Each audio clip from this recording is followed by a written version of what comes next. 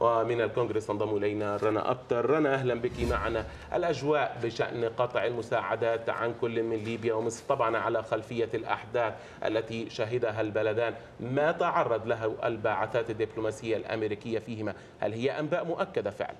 نعم هناك عدد كبير من المحافظين من الجمهوريين الذين يدعون إلى إعادة النظر بالمساعدات الأمريكية تحديدا إلى كل من مصر وليبيا وهم ينتقدون على وجه التحديد الحكومة المصرية لما يصفونه بتأخرها في انتقاد أو إدانة الهجمات والاعتداءات على سفارات السفارة الأمريكية في مصر.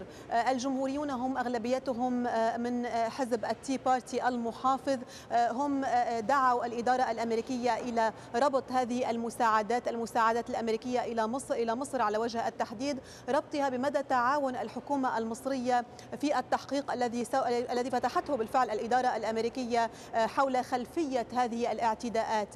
لكن الجمهوريين غير المحافظين من جهة أخرى الجمهوريين أمثال جون ماكين وهو كبير الجمهوريين في لجنة العلاقات الخارجية يعتبرون بأن قطع المساعدات الأمريكية هو أمر غير مطروح في في في الوقت الحالي. وهذا موضوع أيضا يتوافق عليه مع الديمقراطيين. كنت تحدثت وهنا وهنا في هذا الإطار الديمقراطيون والجمهوريون يلتقون كما ذكرتم بوزيرة الخارجية الأمريكية ومدير وكالة الاستخبارات الوطنية في محاولة من كلينتون وكلابر لإقناع المحافظين الجمهوريين بعدم قطع المساعدات الأمريكية. الأمريكية إلى كل من مصر وليبيا. وكنت تحدثت في هذا الإطار إطار اجتماع كلينتون مع أعضاء الكونغرس وأيضا إطار قطع المساعدات الأمريكية عن مصر. تحدثت إلى السناتور ديك دوربن وهو من أبرز عفوا بنجامين كاردن وهو من أبرز القيادات الديمقراطية في لجنة العلاقات الخارجية في مجلس الشيوخ. سألته إذا كان يدعم موضوع قطع المساعدات. قال بأن هذا الوقت هو وقت غير مناسب لقطع هذه المساعدات. نستمع إلى ما قاله السناتور بنجامين كاردن.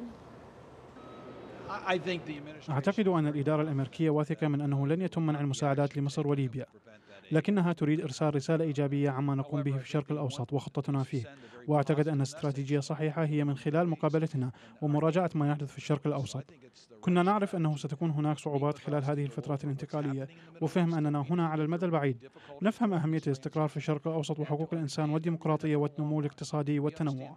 لكن يجب أن نتأكد من أن لنا شركاء في محاربة المتطرفين الذين يخاطرون بأمن مصر والولايات المتحدة. بشكل عام يتوافق الديمقراطيون والجمهوريون على حد سواء على ضرورة أن تشدد الحكومة المصرية أو أن تتعاون الحكومة المصرية مع الإدارة الأمريكية في التحقيقات الجارية حول الاعتداءات على السفارة المصرية. وينتقدون كما ذكرت الرئيس المصري محمد مرسي لتأخره في انتقاد هذه الاعتداءات. في إطار مختلف تحدثت أيضا مع السناتور كاردن حول الموضوع السوري.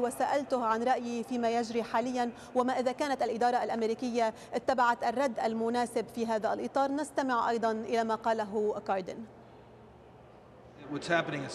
ما يحدث في سوريا أمر شنيع. الموت المريع الذي سمحت به الحكومة السورية بقيادة الرئيس الأسد وفشله في تحقيق مبادئ حقوق الإنسان الدولية. إنه أمر شنيع وأرجو أن يستجيب المجتمع الدولي بشكل أقوى لتوضيح أننا لن نقبل هذا السلوك وأعتقد أن الرئيس الأسد ينبغي أن يحاسب على أفعاله ونحن بحاجة لنظام جديد في سوريا. رنا أبتر مراسلة الحرة مباشرة من الكونغرس. تحياتي رنا.